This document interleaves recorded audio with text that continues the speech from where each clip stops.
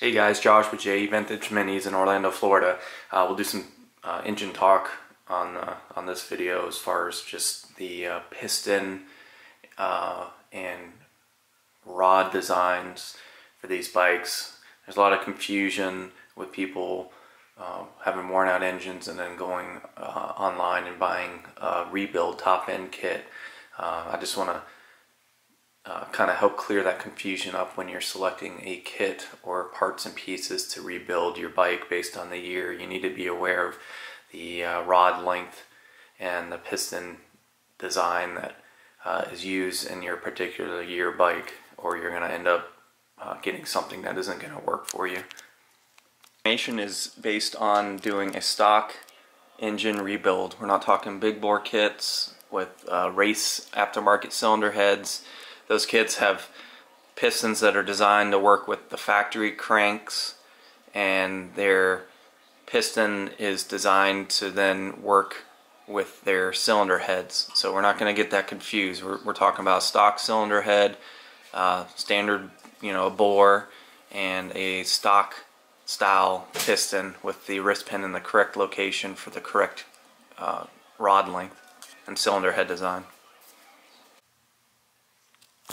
Alright, so this is a crank, this is an assembly here, the crankshaft, and this is your rod. We're going to be talking about the rod and piston.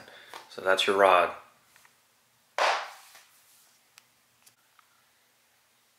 Alright, so there's two de designations, a short rod engine with the old dome piston, and then a, a long rod engine with the new dome piston. Vintage bikes, 1968 to 1981 have the short rod old dome. And that's going to be a CT70, a Z50, CL70, XL70, SL70, uh, passports or C70s, uh, 80, 1980 to 81 have the short rod. The exceptions to the rule are the later ATC 70s all the way through 1985 and the 86 and up TRX 70s, those all have short rod uh, setups. Alright, so what we'll consider the long rod and new dome engine are 1982 and up engines. So you have the Z50, 1982 through 99 are going to convert over to a long rod and new piston new dome piston, your XR50s, a ZB50 which is a 1988 bike only, the Passports 82 to 83, and then your CT70s uh, from 1982 and up all have the long rod. So if you're dealing with a vintage bike as shown here in the 1968 through 1981 year, you're going to have a short rod and these eBay kits or Amazon kits that you can find that uh, say they refurbish your top end with a new cylinder head, a new piston, and a new jug kit. Uh, those are not going to be compatible with these short rod years of engines. They will assemble, but as a result, your rod is not designed for the wrist pin location and the piston dome of those kits and as a result it will have clearance, it will run, but it will be really low on compression, really low on power. So um, we don't want to buy those eBay cheap kits. There's not really a cheap solution for these year bikes. Uh, my only recommendation is to uh, rebuild what you have, your factory head, bring it to a machine shop, have them service the head, cut new valve seats, put new valve train in. Uh, if you need to have your bore jugged, go ahead, or, or your bore uh, rehoned or bored and rehoned, have that done, and uh, order the correct piston that works on the short rod. And I'll show you where you can find some of those items. So just an example, there's multiple listings for these kits. They're, you know, the cheap kits that you see. Uh, but these will these will not work on the short rod engines. And as you can see the descriptions say ATC 70 and a CRF 70 that, that's impossible. ATC 70 is a short rod engine. Every engine of ATC 70 is a short rod engine, and then the CRF is a long rod. So how can this kit work for all those different engines? It doesn't. Uh, so avoid buying these kits, and I'll show you how to get the correct parts and pieces for your uh, 80 or 68 through 81 engine with a short rod. Uh, one Honda Parts House for the vintage bikes is Northeast Vintage Cycle out of New York. So depending on your bike, just come up to Microfiche area and you pick, pick, make sure you're searching for your bike by year. This is going to help you get your parts that you need. So you're going to go ahead and search whatever bike you're doing by your year.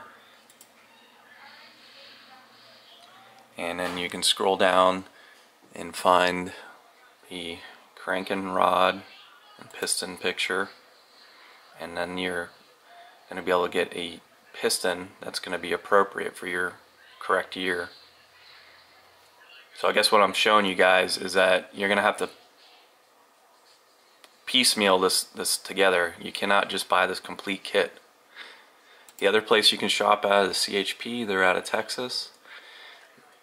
Tons of parts for bikes and restoration work. So you can pick your bike by year. Again, do the same thing. Click whatever bike and year you're using and go search for the rod uh, uh, exploded diagram of the piston and rod and crank and then pick your piston based on the year. Another good company is Fat MX. They're out of Canada. Uh, you know, you can go and search through them too based on your bike year. Um, again, you, you're going to have to put these parts and pieces together, but this way you're going to ensure that you're putting the right piston on the right rod instead of buying these Chinese kits. There's another example on Amazon of what not to buy again for the short rod, but these descriptions are very confusing and misleading because again they have an ATC 70 listed with a CRF 70 which are two totally different rod lengths uh, C70 uh, an SL 70 which is only a short rod.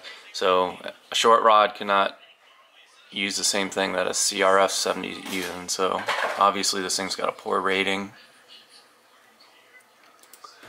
and this guy's writing about how even though it says ATC 70 it does not fit and then he's actually got a picture here. We can see the differences. So stock piston for uh, ATC 70 on the short rod and then this is what comes with the kit. And the problem is is that the wrist pin height these are the wrist pins where the wrist pin goes through the piston you can see where the wrist pins are even to each other and see how much shorter this deck height is on this on this kit piston?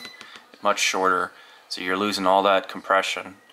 Uh, it will clear it will run but you're gonna be low on compression on it. So you can see actually a, a physical difference between what the piston needs to be and what these kits are providing to you. So this is a Northeast Vintage Cycle. Uh, this is a TB parts uh, aftermarket kit so we're talking cylinder head now so uh, like I said, it's best just to rebuild your factory cylinder head if you have it. Uh, TB Parts has a nice kit. These uh, valves are actually really nice. Uh, they'll give you new springs, uh, rocker pins, rocker arms, everything. I think it's like 75 bucks to get that uh, valve train kit.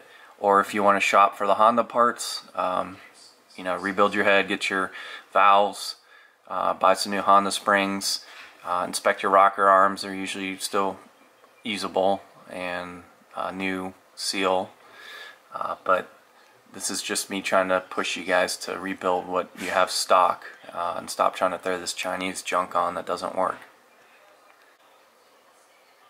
So your uh, only option I would recommend if you were going to buy a Chinese top-end kit, you know, not these 50 or $70 kits on eBay, which I'm, I'm telling you don't work.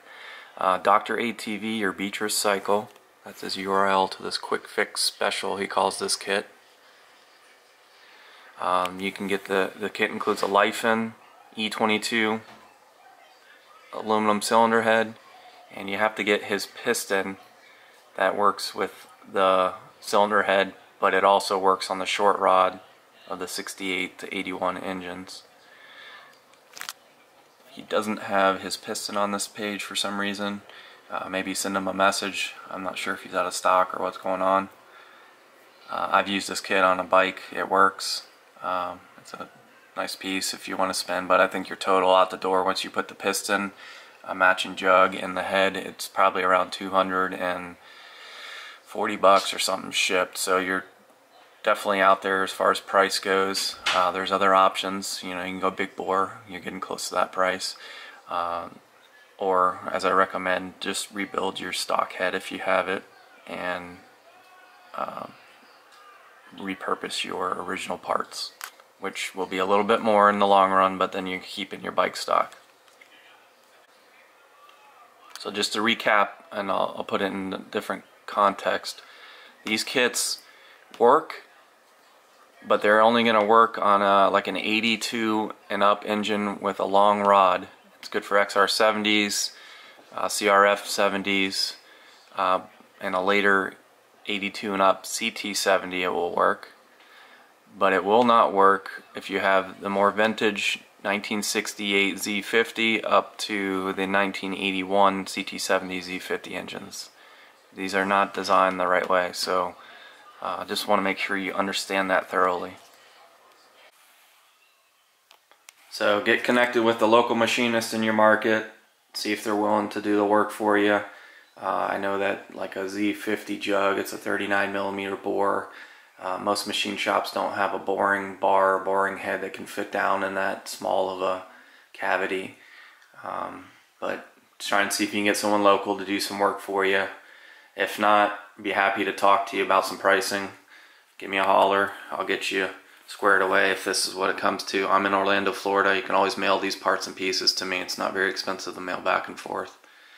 Uh, be happy to kind of get you a whole head set up. I'll do all the ordering. I'll get all the right parts for you. Uh, so if you want an easy button, give give me a call. Hope you guys appreciate the video. Uh, I got more coming out. Uh, please, please subscribe. Thank you.